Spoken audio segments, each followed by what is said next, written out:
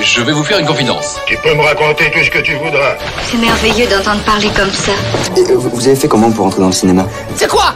C'est intime? C'est privé? C'est personnel? Écoute, laisse-moi parler tout de même. On est du verbe naître, on est des comédiens. Au cinéma, c'est comme ça et pas autrement. Un fauteuil pour deux sur Séance Radio.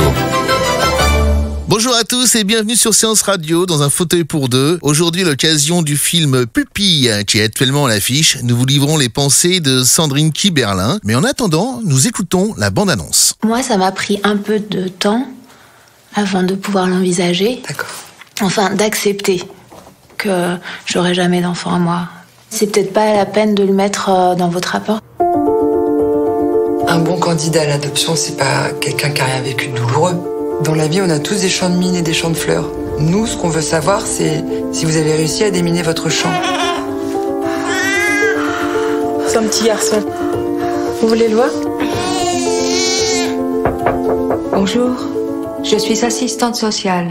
Je veux pas le garder. Alors Sandrine, où est-ce que vous vous êtes rencontrés en fait? Ben, je me suis rencontrée euh, au conservatoire, je pense, en deuxième année. Donc euh, je me suis rencontrée assez tardivement, mais euh, c'est pas plus mal. Je suis de toute façon assez euh, lente, enfin en tout cas je réagis souvent à un retardement, mais c'est pas grave. Et, euh, et après, une fois que je me suis rencontrée, j'ai été amenée à rencontrer des gens qui ont fait que je me suis rencontrée de plus en plus, si vous voulez. Bon, bah Mesguich, ça c'est sûr, Daniel Mesguich, qui a été mon prof en deuxième et troisième année de conservatoire, mais pas parce qu'il était mon prof, hein, pas juste parce que humainement il, il a compris. Euh, euh, que je pouvais exister euh, en étant vraiment moi, sans chercher à rentrer dans des méthodes ou dans des, dans des règles de professeur de professeur d'art dramatique. Quoi. Donc il m'a poussé à être moi-même, à délirer en, en y allant vraiment. Quoi. Quand c'était une jeune première, je la rendais zinzin, euh, elle devenait un peu décalée. Euh, Quand je jouais des folles, des marquises de Marivaux, mais alors complètement euh, dingue. Bélise dans, le-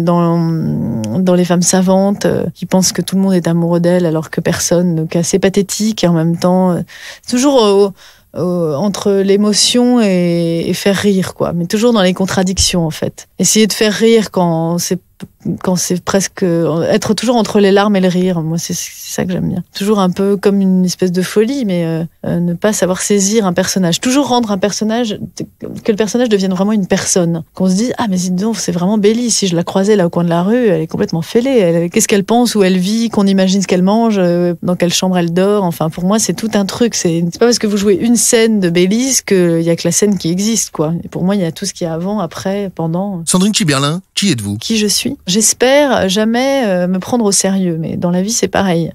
C'est-à-dire que j'ai tendance à prendre tout vraiment pas à la légère. C'est-à-dire que tout peut être, euh, mais le moindre truc, il peut euh, rater un train, par exemple, peut être une tragédie, mais en même temps, j'aurai toujours du recul pour ne pas me prendre au sérieux. C'est-à-dire que je peux prendre les choses euh, violemment, comme ça, comme si c'était la fin du monde, et en même temps, euh, ne jamais prendre ça au sérieux. Quoi. Tout, tout ça, c'est que la vie est si courte que tout ça n'est qu'une seconde de vie. euh. Je sais pas, j'ai l'impression qu'il y a un côté, euh, oui, comme ça, de jamais être d'un bloc. Rien n'est jamais tout noir ou tout rouge ou tout rose. euh, C'est tout est une multitude de couleurs, quoi. C'est-à-dire qu'on on n'est jamais ou que triste ou que drôle ou que ou que joyeux ou que mal ou que déprimé. On est tout bascule en une seconde dans la vie. Donc, euh, il laissait vachement de de recul. Même quand il arrive un drame, j'ai l'impression que j'aurais tendance à dédramatiser. Puis quand il arrive un truc drôle, j'aurais tendance à dramatiser. Pourquoi ce métier plus qu'un autre en fait? Ça vraiment, je sais pas. J'ai jamais eu envie d'être autre chose. Ça a été une évidence. Je sais pas comment dire. J'ai eu mon euh, en seconde, j'ai commencé à, à prendre des cours de théâtre hein, parce que j'avais envie. Et puis après, c'est devenu euh, euh, ça a pris le pas sur le reste, quoi. Après, j'ai eu mon bac, et après, euh, qu'est-ce que tu veux faire? Eh ben, je, sais même pas si on m'a posé la question qu'est-ce que tu veux faire? Et que j'ai répondu euh, je veux être comédienne. Je crois que ça n'est jamais arrivé ce genre de questions et ce genre de réponses. J'ai été m'inscrire et et après, je suis rentrée dans le trip. euh, On passe un concours, euh, on a machin, on va dans une école très structurée pour euh, avoir un cadre comme ça d'étudiante pour faire la blague. Et puis en attendant, on fait la folle, quoi, pour jouer des personnages, s'éclater. et puis au fur et à mesure, comme ça, ça devenait mon, truc. Mes parents se sont en faisant du théâtre, en amateur et tout ça, mais jamais j'ai dû, j'ai dû prendre tout leur, toutes leurs ondes. Ou tous leurs désirs inassouvis, et puis c'est moi qui ai tout pris euh, pour que ça se fasse. Ça vous fait peur, Sandrine, de porter un film sur vos épaules? Ça donne l'impression euh, que, que on existe dans ce métier, quoi. Qu'on a, on a une, une place euh, et qu'il faut, il faut, faut toujours être sincère, quoi. Mais, mais ça donne pas non plus une. euh, tout peut repartir à zéro demain. Hein. Enfin, faut être très lucide, quoi. Faut se dire que si.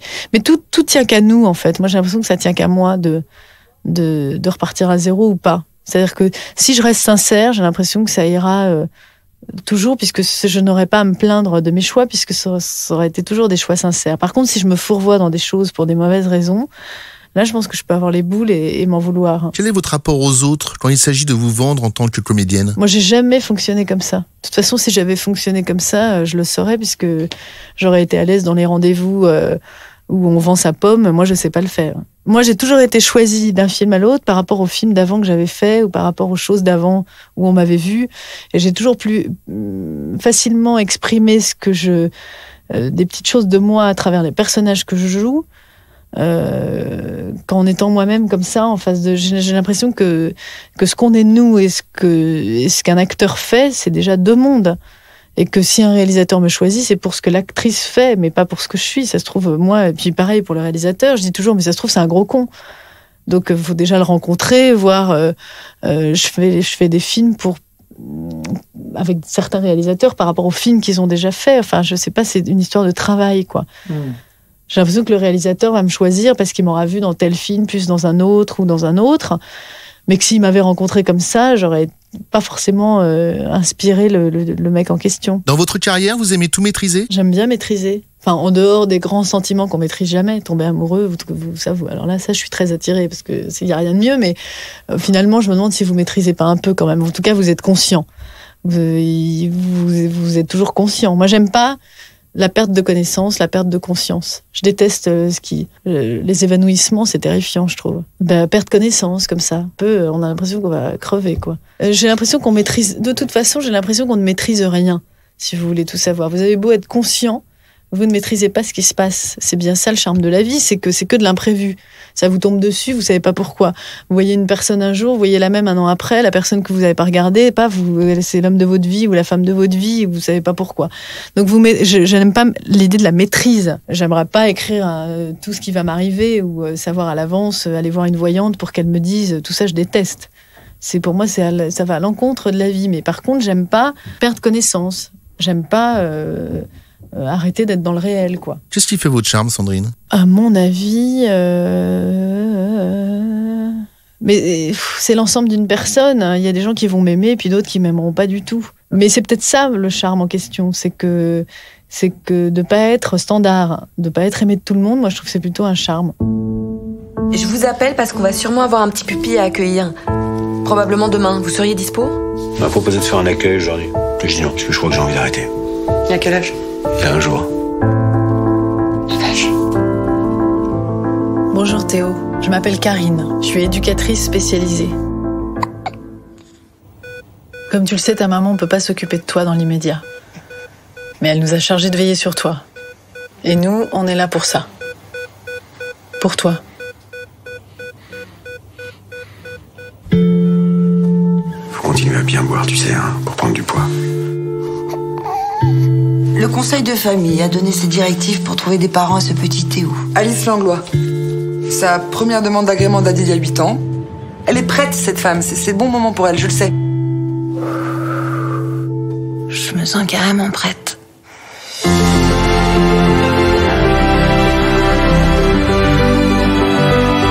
grimpes, tu grimpes, tu grimpes. Mon travail, c'est pas de trouver un enfant à des parents qui souffrent. Mon travail, c'est de trouver les meilleurs parents possibles à des enfants en difficulté.